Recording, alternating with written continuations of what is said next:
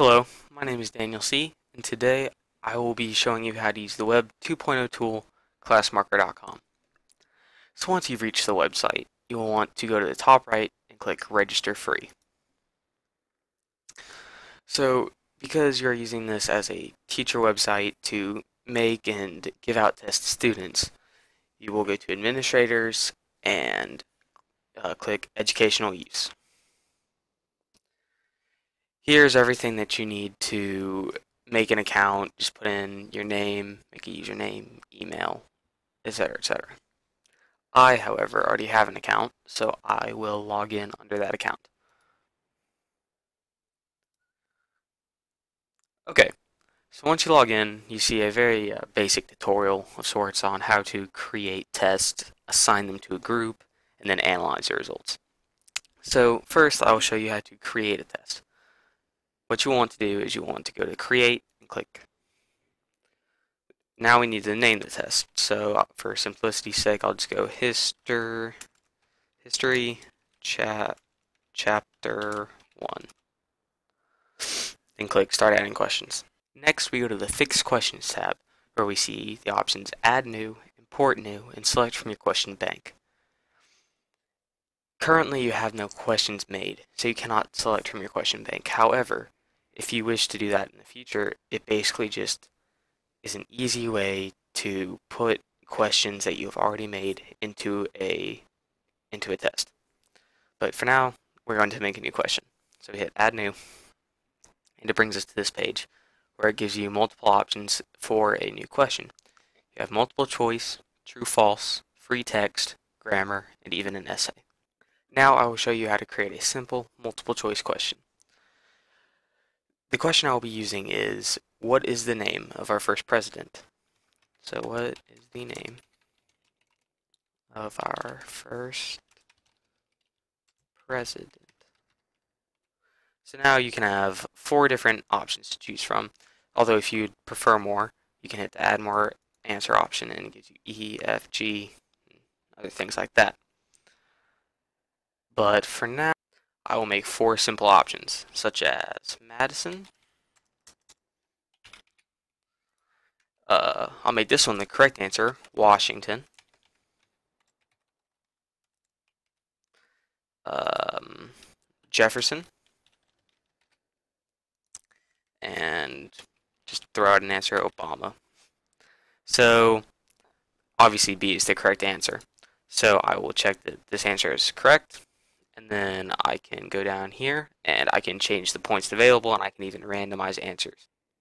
So now that I have created this question, I will save it and then now it is um, saved to my question bank. So now that I have shown you how to create a test and add questions to it, I will show you how to create a group. Groups are for when you have multiple classes and you have to make sure that a certain test gets out to a certain class and doesn't get mixed up.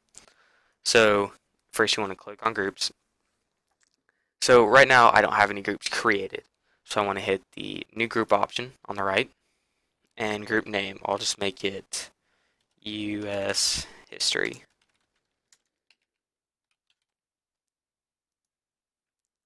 So now I have a group, but I have to add members, which will be the students that come in to take my tests. So I want to go to the Add Members tab and there are two ways to do this. You can either enter a member from scratch, such as going in and creating their name, putting in their email, other things like that. But the much more simple option is to create registration codes. So let's say I have 10 students in my class. I would select the number 10, and so now I get 10 registration codes to give to those 10 students. So now I'll hit Add Member Registration Codes and I will print the registration codes. So now these are the actual codes that the students will use to get into the website and take my test. So now that I have members to take the test, I will now show you how to assign a test to the members of the group. So we're going to want to go back to this page and we're going to go to tests and we have history chapter 1. I will want to go over to the right and hit assign. Now since we're using this website for educational use, we will want to use the via group option. So I'll hit assign to group and I will select the US history group. Hit next. Now this is the page that you come to. This is your settings page where you can customize everything and create the environment that you want the test to be taken in, such as making it available from a Wednesday to a Friday, or making a time limit of maybe 60 minutes, anything that you want. So then you hit assign, and then now the test is out and students can take it.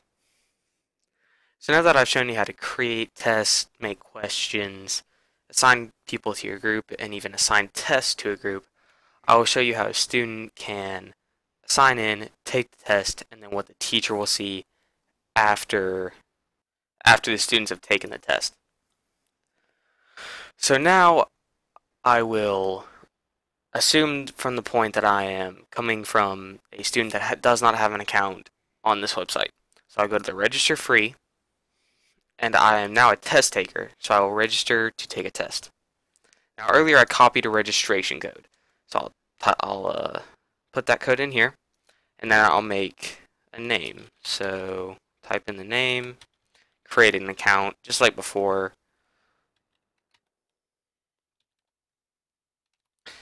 And now I will agree and register. So I will log in from the perspective of a student. So I will log in and it recognizes me. So now, now that I'm in, I have all my tests aligned on the left side of the screen. So they'll hit start, and then the instructions come up. It tells you basically everything that the teacher customized on that setting screen that I showed you earlier, like such as number of questions, the time limit, number of attempts to, allowed at the test, and stuff like that. So I'll go ahead and hit start, and I will complete the test, and I will hit finish now. So now that I finished the test, it immediately tells me everything about the test I need to know. So how many points I got out of the amount that were possible, my percentage, even how long I took the test. So now that I've done that, I will show you what the teacher will see when he or she goes to analyze the data that the student has given from the test. So I will log in. And so now next to History Chapter 1, I can click the results since one of my students has taken it and completed the test. So I see their name and I see their percentage, their score, and even how long it took took them to uh, take the test. So then I will go to answers if I wish, and it shows me all the questions on the test, and I can look and I can see which questions that the students got wrong and what answers they chose over the correct answers. So that is really all there is to classmarker.com. I thank you all for watching the video and I hope that ClassMarker can be an advantageous tool in your classroom.